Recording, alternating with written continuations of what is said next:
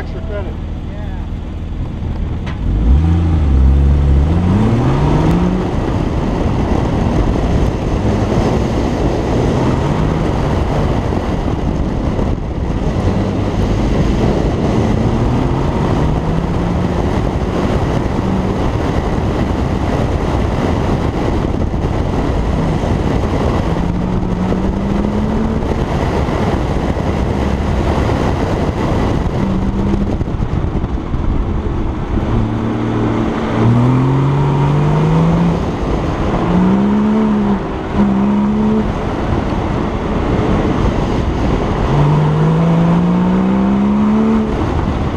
Just had